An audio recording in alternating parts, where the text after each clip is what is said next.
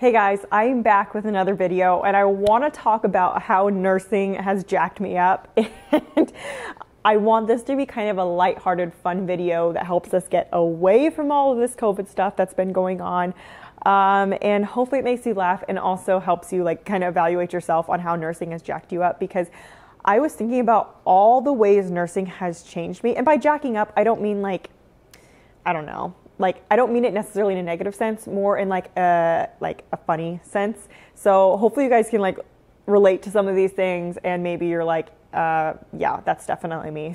So I want to share some of the funny ways nursing has messed me up because when I was thinking about it, there's a lot of different things that I'm like, wow, that's weird, Ashley. So um, let's get started. Okay, this I know is to be very weird for you guys, but I cannot sleep with my heels on the bed. Like if I'm laying on my back, I cannot have my heels on the bed because I feel like I'm gonna get pressure ulcers. And I know that sounds like so silly, but like the feeling of it, my heels on the bed, I can like feel that pressure. And so I have to like either sleep on my side or like put a pillow underneath my like lower legs and calves to kind of float my heels.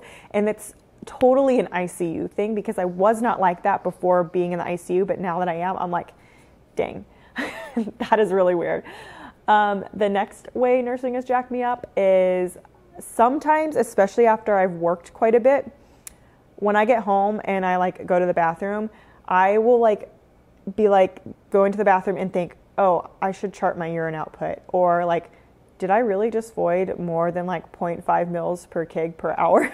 um, and it's not like intentional that I think like this. It's like I almost just in my head, I'm like, I got to chart this void. And I'm like, wait, wait, wait, this is stupid. This is myself and not a patient. Okay.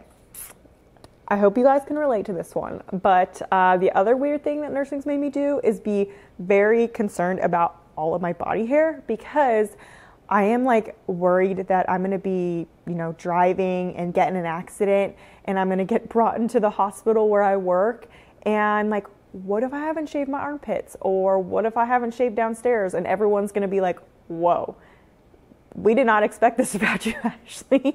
so I feel like I always have to have like good hygiene, good body hair, because I, God forbid, I get admitted to the hospital that I work at and then like I'm out of it and everyone's gonna be like, whoa. I know, guys, it probably doesn't happen, but we're nurses. Like, we know it happens to a certain extent.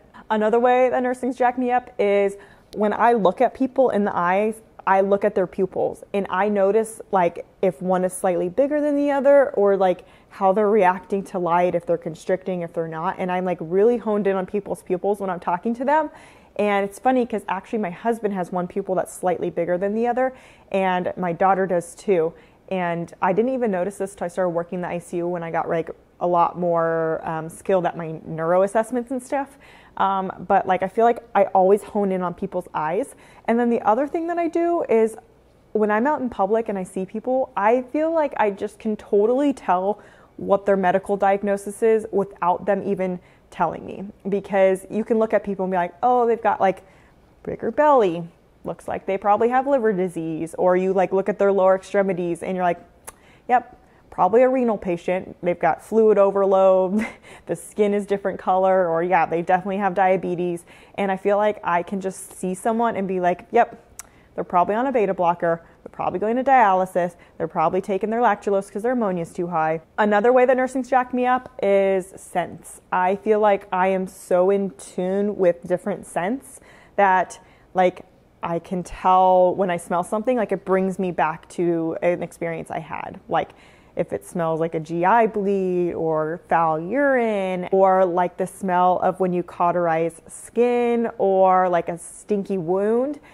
All those smells, if I get a whiff of any of that out in public somewhere, I'm like, whoa, something's, go- something's going on that shouldn't be. Okay, guys, those are just a few ways that nursing has jacked me up. There are probably so many more ways, but I want to hear how nursing has messed you up in a funny sense to kind of like get away from COVID. Let's lighten things up. And just let me know in the comments below.